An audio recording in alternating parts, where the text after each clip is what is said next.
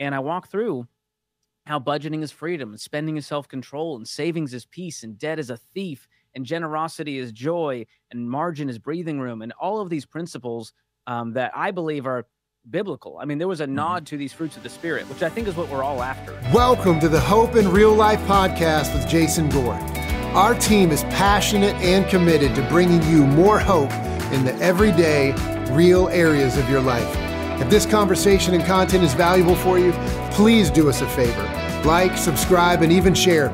You never know how valuable it could be to share a little bit of hope with someone else. Let's get the conversation started.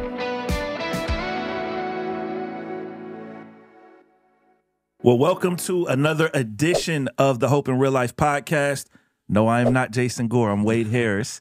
Um, we're filling in for Jason, and obviously he has some big shoes to fill. So there's two of us. Wes Dyke is here with us as well. Wes, what's going on, brother? Hey, Wade, appreciate the opportunity to join you. Absolutely. We have a very special guest today. We're talking about personal finances. We want to help you get your money right. And to do that, we have uh, one of the Ramsey Solutions personality. Uh, he has been on the Ramsey show a ton. Uh, he has a new book coming out January 16th called Breaking Free from Broke. I love that. The ultimate guide to more money and less stress. And he has about 70 million podcasts. I'll let him tell you about those podcasts. I didn't want to get those wrong. Uh, but he's great on YouTube, TikTok. His name is George Kamel, and he is with us. George, welcome. It's so good to be with you guys. I feel like a wiener in a steakhouse. You guys are so cool. You got this dope studio. I want to be in the room with you. So, uh, but it's good to be with you virtually from Nashville, Tennessee. Absolutely, George. We appreciate that. We would love to get you here, man. So uh, let's let's talk about that when we're done with this podcast and see how we can we can make that happen, man. Um, I want to start. He- yeah, I want to start here uh, because we're talking about money management. Let's define it as you see it. Uh, obviously, Ramsey has helped so many people over the years, self included, get out of debt and really start to build wealth. Uh, but just from your perspective, how would you define money management? Well, I think money management is an interesting topic because a lot of people think they're managing their money when really they they've just mastered the art of managing debt. And Mm. so they they're really just good at debt management when they tell you about their credit score and the fact that they're getting cash back on their credit cards. And so to me money management is having a sense of control and peace with your money to where you're planning for the future, not just being able to keep up with the past, which is what most Americans find themselves doing uh, in today's day and age. So money management is going. I know exactly where my money's going. I'm hitting all of my financial goals. I'm getting ahead instead of just trying to keep up. Hey, George, some people are watching this and they're saying, wow, that guy looks really sharp, looks great. Uh, I bet he's had it all together for his life. Uh, but that's not your story, Wes is new it? Stunt double. I'm hiring Wes as my stunt double right after this. That's not your story, though, Well, is yeah. it? What's your story? Well, you know, I grew up with immigrant parents. My parents are from the Middle East, and so I grew up as a first generation American, and I saw them sort of adapt to the American culture, and that included the money culture. So very quickly they went, well, we got to have a house, so let's get this mortgage, and mm-hmm. well, we, we don't have money to send you to college, but we'll take out the student loans and sign some Parent Plus loans, and we'll figure it out later. And that sort of became this American dream that we were sold, but we were delivered the American nightmare Mm. because I graduated with forty thousand dollars in consumer debt between Mm. my student loans and my credit card debt. And you know, my parents did a great job raising us, and they were very frugal. But the money principles, they were just average. You know, we were just middle, another middle class family, and I was just strapped with payments. Going, is this it? Mm. I'm cynical toward adulthood. I'm not going to hit my financial goals. I'm not making as much money as they told me I would make if I followed this primrose path of getting good grades and going to college of your dreams. And so it left me frustrated, anxious, stressed, and truly just kind of angry, Mm. just a cynical, angry person.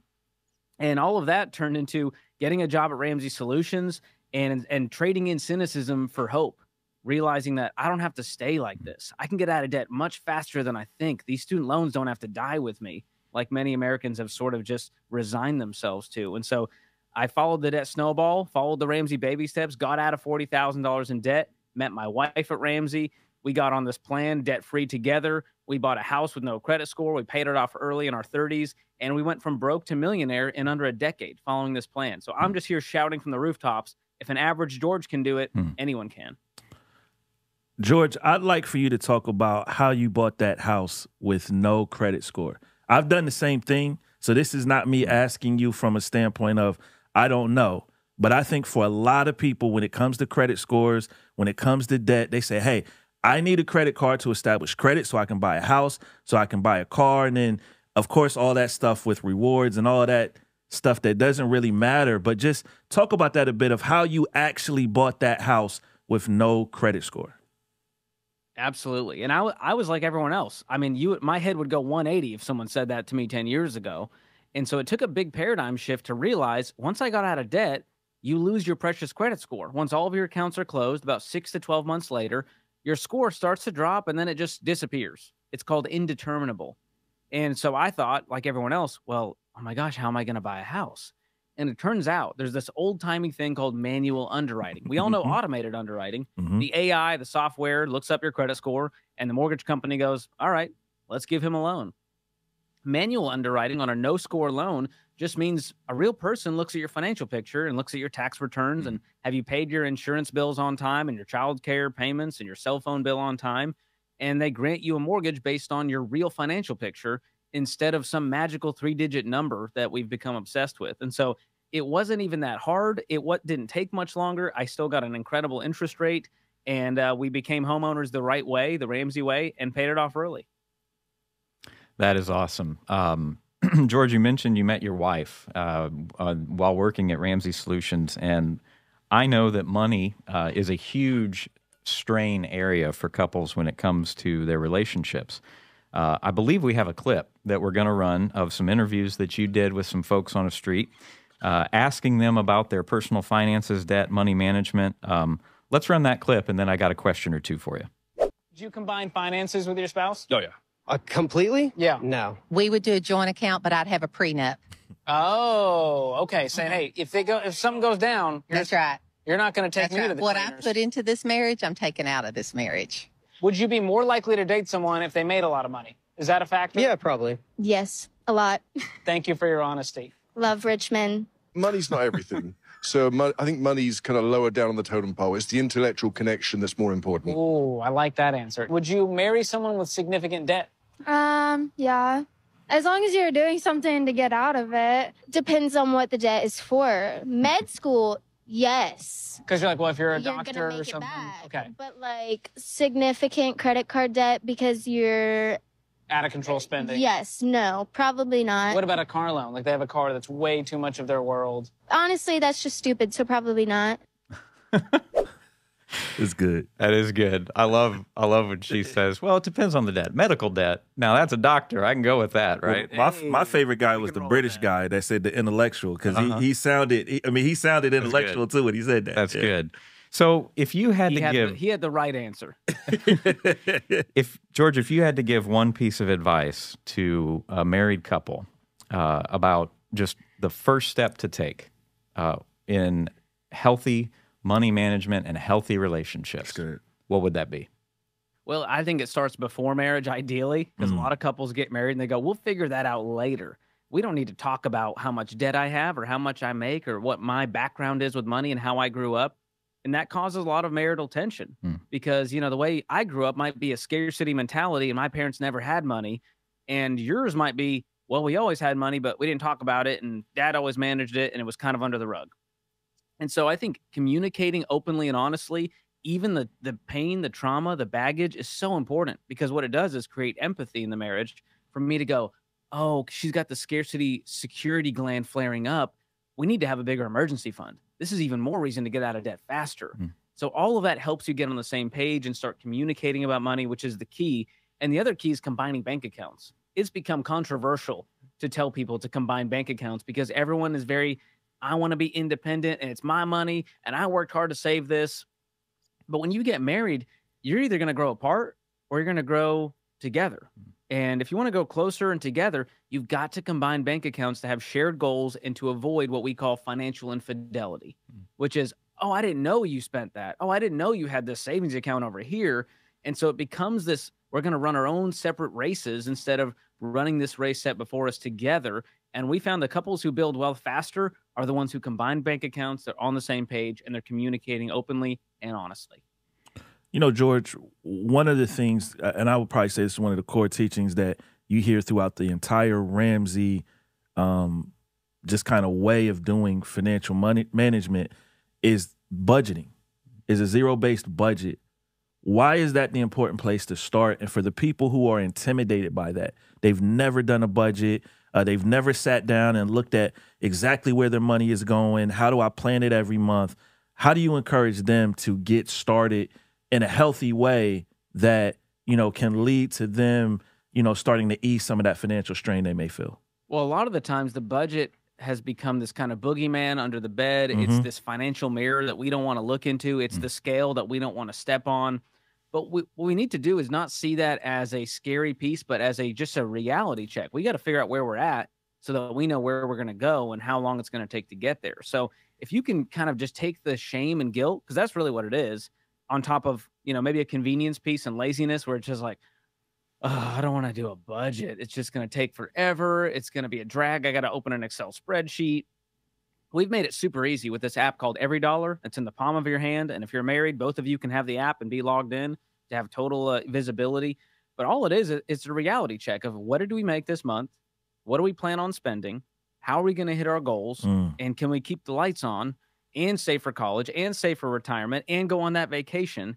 And too many people see it as restrictive, but I see it as freedom Mm. because once I put it on paper, I can go make that happen now. Oh my gosh, that's amazing. We could have a thousand bucks extra if we cut all these expenses, and we can actually save for that vacation faster if we did this over here. So all it is is a game plan for how you're going to get to where you want to go financially.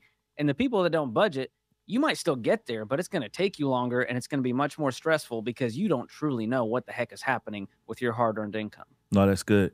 Uh, let me ask you this, and this is kind of a personal thing, and, and I know you and your wife have been very like together. You've been on the same page. How often do you guys dream, like just about what you want to do in the future with your money, whether it's vacations, whether it's giving? I know you're a generous person, whether it's you know whatever. But how often and like what does that look like for you guys?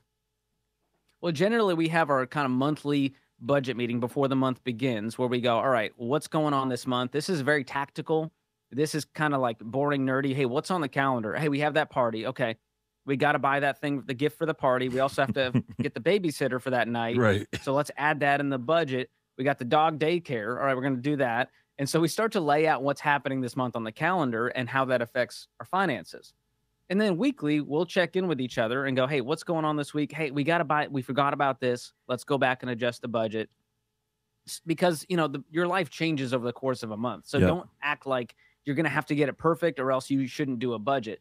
It's going to fluctuate a little bit. You're going to move some things around. Um, so don't be so rigid in that way. But then the other piece of it is checking in daily and going, hey, what what happened on the bank account today? Just a quick daily check, track some transactions so that it doesn't become overwhelming. And every dollar makes this easy with the premium version because it connects to your bank account. So it's got my grocery store, the gas, all that. And I just drag it into the gas budget. I drag it into the grocery budget and it shows me exactly how much I have left to spend. So that is just a helpful mirror that we can look at daily, weekly, and monthly. Beautiful. Yeah. Hey, George, I want to maybe transition a little bit away from an individual. And, you know, we know a lot of people listening, uh, small business owners or folks that, uh, you know, are involved in uh, helping manage a business. Um, would you offer any different or how similar would your recommendations be to a business owner for how they can apply these principles uh, in their, you know, not personal world, but in their professional world? Well, we are so passionate about small business here at Ramsey. We have our own brand for business owners and entrepreneurs called Entre Leadership. And it's how Dave grew this hmm. thing from a card table in his living room to the empire with a thousand team members and this campus that we have today. And he loves coaching them. And the principles, the general principles apply. Now, hmm. the Ramsey baby steps don't apply because a business is run differently, but we run this business debt free. Mm. And what we teach in Entre Leadership is the best way to run a business and grow a business is to do it at the speed of cash. And that might take longer, but it also reduces your risk and you're able to keep the lights on. You're able to avoid the layoffs because you're strapped with payments over here and the market took a shift. And so the, the principles that apply that are kind of in the Venn diagram are be completely debt free, stay debt free, run your business with cash. And on top of that, have savings, have Mm. retained earnings that you're putting aside every month so that you can invest in the future and make that next hire and maybe buy that building one day that you you've always dreamed of. So those are the principles that always apply there. Um, on top of that, we have a lot of core values here at Ramsey, and uh, we try to, you know, over 30 years, we've made mistakes when it comes to hiring and how we've treated people, but these core values are kind of the guiding forces and principles that sort of are paired with the financial principles. And so all of that together has allowed us to help so many business owners, especially those who have a faith background, run really successful businesses, treat their teams well, leave a legacy, pass it down to their family in the right way. And it's been a beautiful thing to watch. It's some of the most inspiring stories we hear. It's really encouraging to hear you say that. Um, I've been on staff at Hope Community Church now for a couple years, mm-hmm. and uh, great credit to Hope's leaders and my predecessors that built an emergency fund, built a capital fund, have been accelerating debt pay down, uh, giving 10% back outside the walls of the church. So it's just great wow, to hear that that's, that's awesome. very much in line with uh, with the experts and you. Yeah, and churches should be leading the charge on this. And listen, our church that that I go to here locally, they inherited a bunch of debt when they had a merger. And they had mm. seven million dollars of of mortgage debt on the building and the campus. And they looked up and they went, "We're sending a million dollars a year to a lender between the payment and the interest. What mm. could we do with a million dollars as a church?" And they started dreaming, and they got the congregation in on it and they paid off that $7 million in a year mm. with just focus intensity. Dave Ramsey came to the church. They did a huge debt free screen. And the stuff we get to do now, the community centers we're building, um, that we have a whole ministry to provide single uh, moms with cars and car repairs. We have an adoption wraparound ministry for foster care, supporting the needs. It's amazing and inspiring what you can do when you don't have any payments and a generous congregation. Mm. Beautiful. We are going to take a brief break from our show to let you know about a resource that we are making available to you. If you're looking for a resource on personal development or spiritual enrichment, then you've got to check this out. It's a free tool. Now, free to our listeners. Was free is good. It was not free for us to create, but free for our listeners, made specifically for anyone who's looking for a bit more hope in their everyday life. Listen to the features daily devotions, parenting tips, financial resources marriage insights there's even a community where you can share prayer requests if you've got things going on in your life and you can see and know that other people are praying for you. This is going to be available in early january. We'll make sure everybody knows. Stay tuned. Keep looking for it. We'll have it out. But listen tomorrow can be better than today and hope is possible even in real life. Let's get back to the show. Um, it's interesting. You have this book called breaking free from broke that drops january 16th um, it, it the title alone just feels like it it just encapsulates your brand, right? Like forty thousand dollars in debt to you and your wife being millionaires. Um, talk a little bit about like what inspired that book. I mean, one of the things when I was reading it from the intro, when Dave said, "Hey, this is for a new generation. This is um, uh, not total money makeover. The first one, financial peace. Mm. Said financial peace for the new generation. I felt like that was like the biggest cosign that you could get for a book like that? Oh, that meant the world. And it's it was my secret goal because I love the total money makeover. I love financial peace. And mm-hmm. I went, mm-hmm. you know, the times have changed, right? Yep. And so all of the younger generations are going, well, that's boomer advice. And I'm mm-hmm. going, no, this is timeless wisdom. This is God's and grandma's ways of handling money. But I do think we need to deliver it in such a time and place that it connects differently. And so what I did was I hit all of the empathy pieces here of going, mm-hmm. it is harder than it was 30 years ago. You're mm-hmm. right. The boomers got to buy their house in 1970 for thirty thousand dollars, and now a house is four hundred thousand dollars. Right. And the you know the wages haven't increased, and inflation, and there's so many reasons why we we say we're not going to get ahead with money. And I rose above that not because I'm special, but because I made a decision, and I made a daily decision to buck that system entirely and just opt out of this matrix that we've created, especially in America. I mean, we are America's number one in a lot of things, and it's especially number one in debt. $17 trillion in debt, yeah. a trillion dollars in credit card debt alone. And so I wrote this book. Two thirds of it are just helping you understand the system and how gross it is. And then the last third is how to break free from that. And I walk through how budgeting is freedom and spending is self control and savings is peace and debt is a thief and generosity is joy, and margin is breathing room, and all of these principles um, that I believe are biblical. I mean, there was a mm-hmm. nod to these fruits of the Spirit, which I think is what we're all after, right? We want to be led by the Spirit and have peace and self control and joy and all of this stuff. But what's holding us back, one of the things is money. It's Mm, become an obstacle in our Mm. lives instead of a tool that helps us have kingdom impact, that helps us be stewards of what God has given to us. And so that was the heart behind the book. I've, of course, I include my story as just an example, but there's 10 million people who follow this plan. So the social proof is there. And I just lay out a choice at the end of it's up to you. You can choose cynicism and you can continue down this path and hope the next president fixes your life, or you can choose hope. Hmm. You can choose a proven plan. You can choose your hard and go, "Ah, fine, I'll pay off the dang debt. mhm. I'm going to get that emergency fund once and for all. I'm going to break this generational cycle Yep. that my family has been in. I'm going to be the first millionaire in my family. That's the stuff that inspires us every day. Absolutely. I mean, George, I, I mean, you, you mentioned the emergency fund. I've even seen the debates of people online that are like, well, he wrote he wrote that 30 years ago and we don't the thousand dollars is too low now. And I'm just like, listen, he's trying to get you started. Like he's trying to get you started. But just talk about the importance of the emergency fund and and just what that has even meant in your own life and and, and your ministry, man.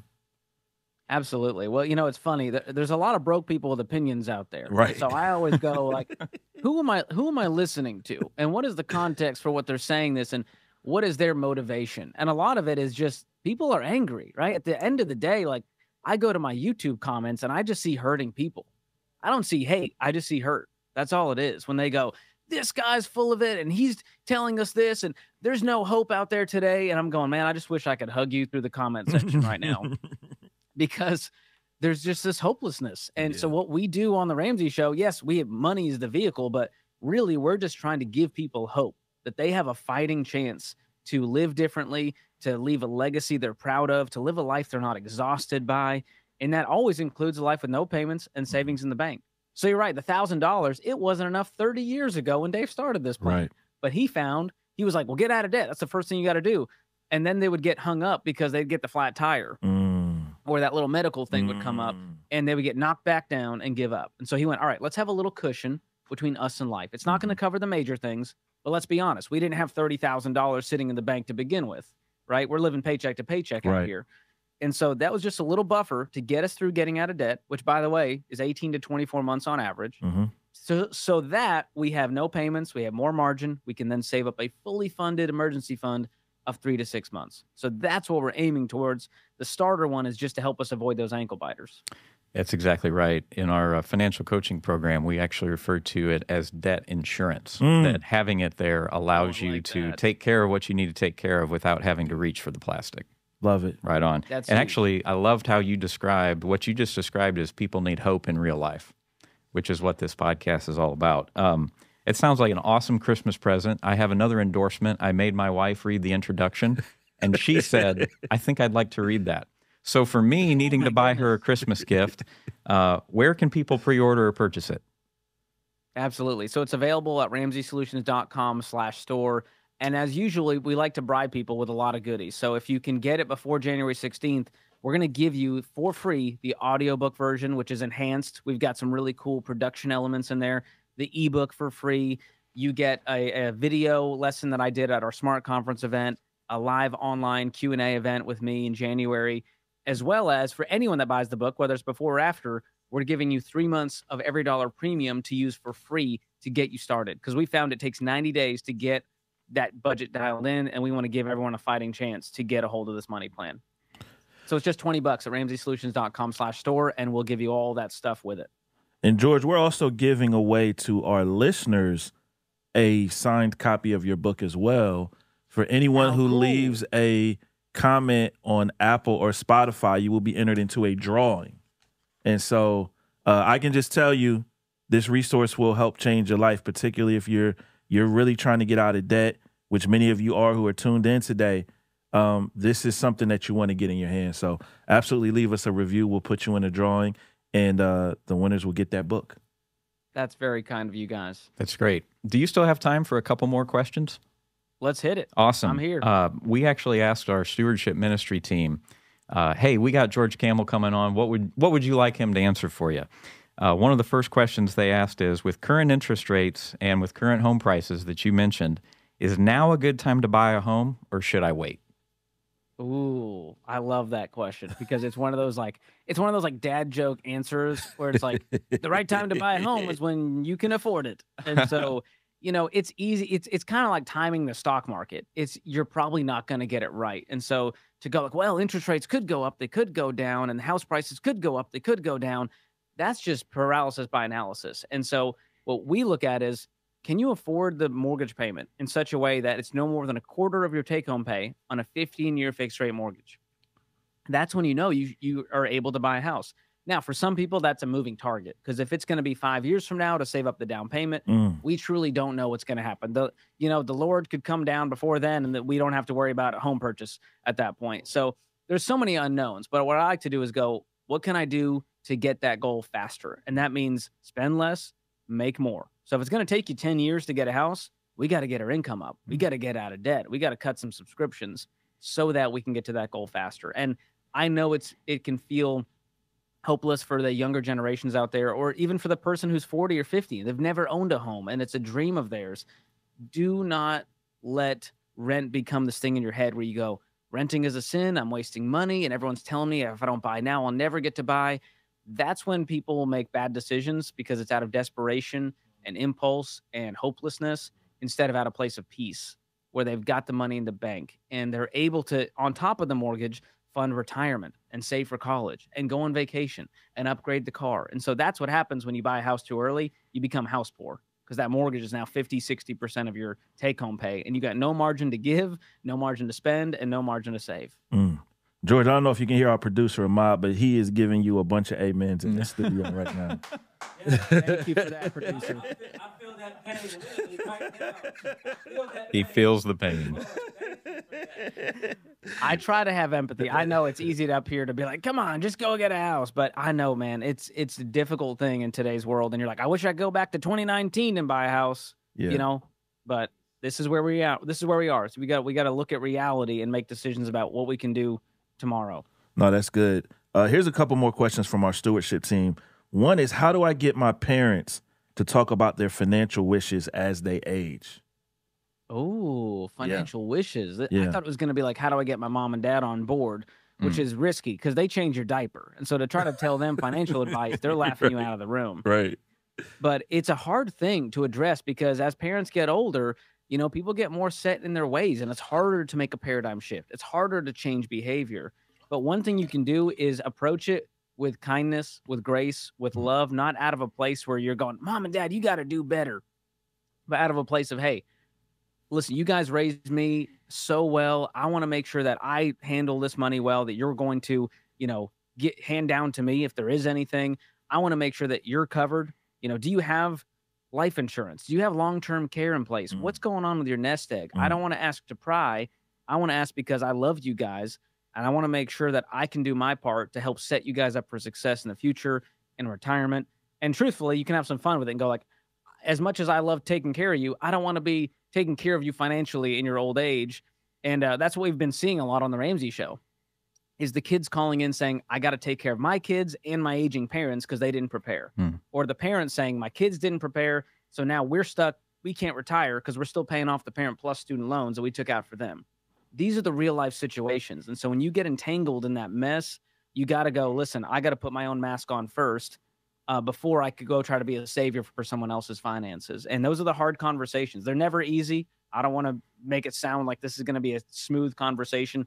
There's going to be some emotion around all of this when you start talking about money. It's a trigger for a lot of people, uh, but you got to do it with grace and kindness and do it with a, a spirit of love where you want to help see them flourish. That is excellent. Uh, you mentioned student loans. One real quick question. As a parent, is it better to let your kids take on student loans or encourage them to take a little time off to save some money before they go to college? Wes, that's the show closer right there, brother. That's a good question. Thanks That's to our stewardship question. team. Yeah, student loans are one of these things where you know parents see it as an investment and they're invested in their kids going to the school they went to and we all want our kids to have a good job that we can brag about to our friends and where they went to school.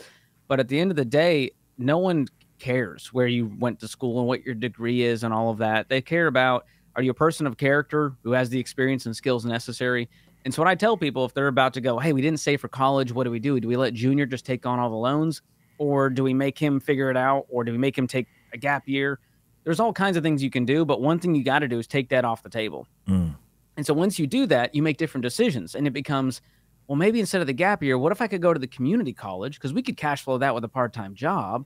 And in the meantime, we might be able to then transfer to a two year, you know, uh, to a to a four year school after community college and get the prereqs knocked out. And maybe we'll stay in state and commute from home so that we can make this work. And so the job of the parent is to have the conversation early and to help them develop a plan. That may not mean mom and dad cover three hundred thousand dollars of of tuition.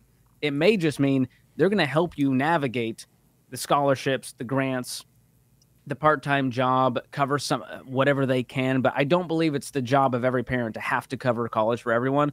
But it is their job to help their students avoid student loan debt. George, I love that. Love that answer, man. Um, student loan debt cripples so many people. Um, we like to ask this question to every single one of our guests, um, and it's just to get to know you a little bit better. Um, what are you hopeful for in the next five years? Like when you look at your life and everything you have going on for you. I mean, you have an amazing career. You've progressed from an intern to one of Ramsey's leading personalities. You've become a millionaire. I mean, what like the next five years? What does that look like for George Kamel? Wow. Well, you you asked me at the right time because I just became a dad three months ago. Hey, Wow. congrats! So that changes things. That man. I Yes. mean, you're just like all the things that used to matter. You're now like nothing matters anymore. This little girl, like you just, you know what I mean? Like, this precious little innocent, pure creature Yeah, that I have to protect at all costs. And so it's definitely changed the things I'm hopeful for. But I'll tell you, just like everyone else, if you start looking at the headlines, it's easy to get cynical and go like, "Gosh, America's in the tank. The economy, the president. What's going to happen with the housing market?" And it can feel overwhelming. But when I look into my little girl's eyes, and I'm just like, "There is hope. Look at this precious gift from God that was bestowed upon us that we are now a steward of to raise." And it's such an incredible opportunity to go like, she doesn't have to be a part of that. She's going to be raised with financial peace. She's never going to know debt. And it's an incredible, hopeful feeling I have that while we can't change the world, we can change our household and we can change our family tree. And that gives me great hope because even though I can't cause world peace between Israel and Palestine, I can instill a, a character and a faith into this little girl who can then have a ripple impact Mm. on eternity. And to me, that's all that matters at the end of the day. My gravestone's not going to have my net worth on it, right? In that dash is just going to be what did you do during your time on earth? How did you bless others? How did you raise your kids? How did you give? What kind of person were you? And so that gives me a different perspective on my financial goals. And it puts more emphasis on the relational goals and the spiritual goals and what kind of experiences do we want to have and what really matters. And so that's my new goal as a dad. And that's what gives me hope is this is this little girl that we get to raise in this wild, crazy, chaotic world. It's a fun challenge.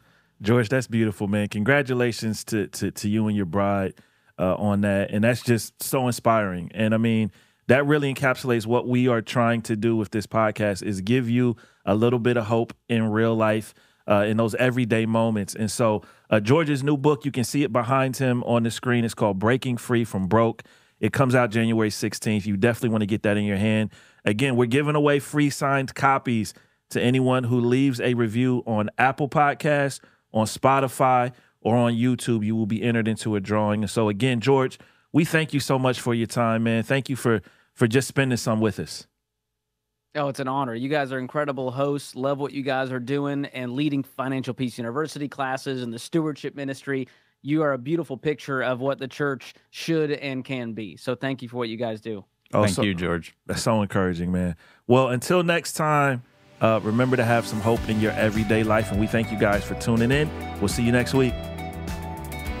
Thanks for tuning in to this episode of the Hope in Real Life podcast. If this content was valuable for you, don't forget, like, subscribe, share. You never know how important it could be to bring a little hope into someone else's life.